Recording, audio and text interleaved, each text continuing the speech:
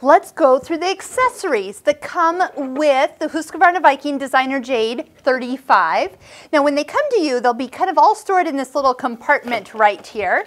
So just kind of untape them and then I'm going to show you where you can store them since this is more like the cover of the sewing machine that can house your foot control and power cord when you're transporting it. But when you're sewing, you can slide these little guys to the side and I say guys because there's one back here too. So this will slide out to the side and there's a little pocket back here and a pocket here. So I keep the ones I use all the time up front and the ones I use less back behind the machine. So let me show you what all comes with it, including feet and tools.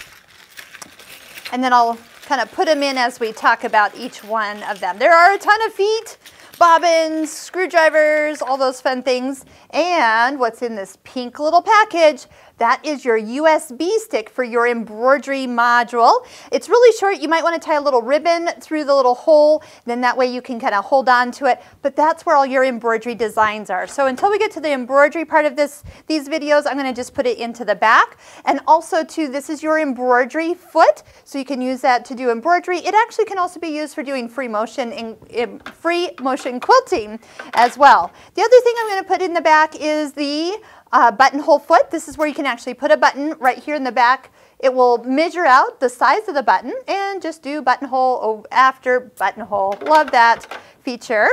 And a few more things. Okay, seam guide. So this is great if you want to make multiple rows of straight stitches or decorative stitches. We do need to clean this machine on a regular basis. So your brush, screwdriver, but this is actually the screwdriver we're going to use the most. This one here is short, so these two screws can take be taken out and we can clean underneath the throat plate. Seam ripper, just take that, switch it around, the cap becomes the handle so it's long enough to use. And yes, seam rippers are always in need, so one always comes with the machines. Uh, needles, a nice little selection of needles and in a variety of sizes from stretch, jeans, embroidery, and some universal needles. We have a whole bunch of needles, um, videos on our website as well, so you can check those out and know which needles to be using at any given time. The foot that comes on the machine is your standard foot and it's lettered A. Your B foot, B as in boy, this is going to be for all of our decorative stitches because it's got a little thicker cutout behind the foot and then that way those thicker stitches will not get hung up as it's being sewn. Foot D is a blind hem foot, so that is specially made to do a blind hem. We also have two buttonhole feet. We had the long white one that I put already back here, but this is a manual version and it has where you can make a much longer buttonhole than the one which can do them over and over. So if you're repairing a buttonhole or need to make a longer one, foot C is the one you're going to reach for. Two more feet that come included with this machine.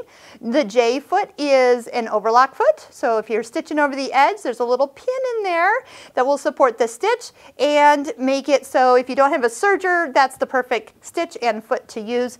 Your machine's actually going to tell you when to use these feet. So as I show you where that is, it will always guide you so you always have the right foot on for the stitch. Now, this one is a zipper foot, letter E, and it will actually have two sides, a left side and a right side, depending on what side of the zipper you're going down. We'll also do a video on the zipper foot. A few other things that come in with your accessories. You will have a total of five bobbins. There's one inside the machine that's empty when you open it up and then, then four separate ones. These bobbins are specific for this machine, so don't be using any bobbins from previous machines that aren't this exact size. If you do have a machine that looks like the bobbins are similar, just double check with your Husqvarna Viking store to make sure that they are exactly the same because you don't want to have the wrong size of bobbin in this machine. So uh, we also have spool caps, so as we pick our spools, we'll put in the size of a spool cap onto the spool right up here to help kind of hold it on. So I'll kind of leave those out depending on what spool I actually put on. And these are some kind of um, spool ends. You can slide this on and then that helps make sure that they don't spin, especially when it's more standing straight up, which I know you can't see, but we can flip that straight up. And we can kind of slide, that's not something I use a lot, so I'm gonna put those in the very back. We do have another vertical spool pin that can be placed right up here on one of those openings. It's actually right here. And then if you're using two spools, like for a twin needle, that's where your second spool can actually go. And we have an extra screw. I'll need to double check what that one's for. And it could be for the embroidery foot. Don't quote me on that, but there's an extra screw in here for some reason. And we have a thread net, they do put these in, but if you have a spool of thread that's kind of, it's like slipping off the spool and puddling, you can put that around it and it will kind of tame it. I usually don't, I think I use quality threads, so I don't usually use these, which is nice.